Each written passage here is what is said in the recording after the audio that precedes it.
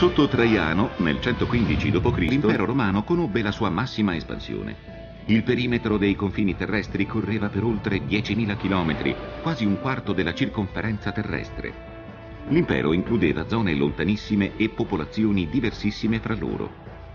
Faceva parte dell'impero romano la Scozia, con le sue fredde terre spazzate dal vento del nord, ma anche il Marocco e il deserto del Sahara, con la gente dalla pelle scura e i capelli neri e crespi. Province dell'impero erano tanto l'estremo occidente dell'Europa, Spagna e Portogallo, quanto quello che oggi chiamiamo il Medio Oriente, Turchia, Siria, Giordania e ancor più a est fino all'Iran. L'antichissima civiltà egizia era da tempo territorio romanizzato, così come lo erano molto più a nord i boschi incolti e disabitati delle lande germaniche e le rudi tribù che le occupavano.